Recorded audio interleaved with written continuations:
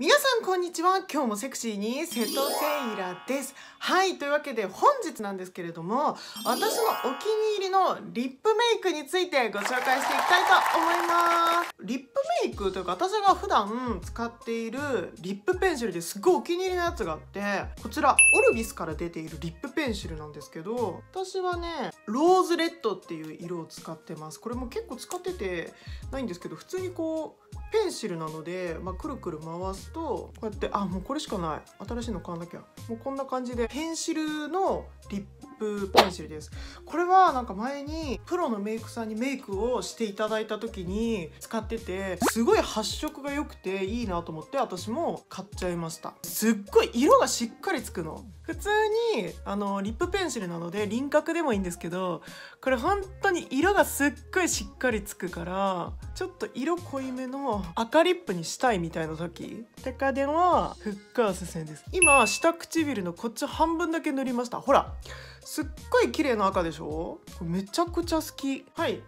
こんな感じでめちゃくちゃ濃い色がしっかりつくでしょ？ラメとかも入ってなくてマットで自然なんですねすごい。ほらすごいしっかりときました。ちょっとだけティッシュオフしますね。かなりマット系です。こんなです。すっごい赤色が綺麗じゃない？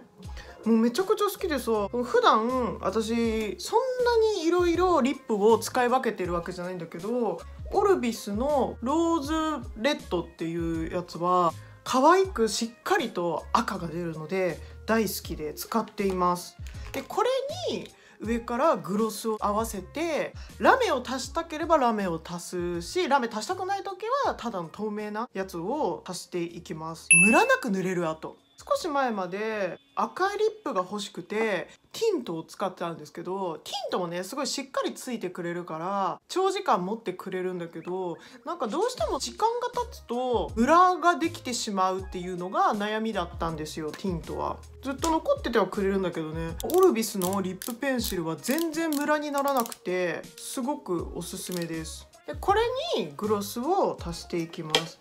私まあグロスはねやっぱりシャネルのグロスが好きですね。シャネルのルージュココグロス。シャネルのさグロスのさウルッと感すごいんですよね。ピンクか赤を使ってるんですけど今日ちょっとじゃあピンク重ねたいと思います。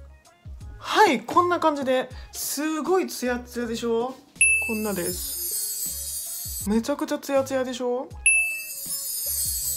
しっかりめの色を唇につけたいメイクの時っていうのと長持ちさせたい時いう時はこのオルビスのリップペンシルすごい重宝してます。シャネルのグロスはかなり細かいラメが入ってるのでもう本当にギラギラ感すごいんですけどほらすっごいギラギラ感が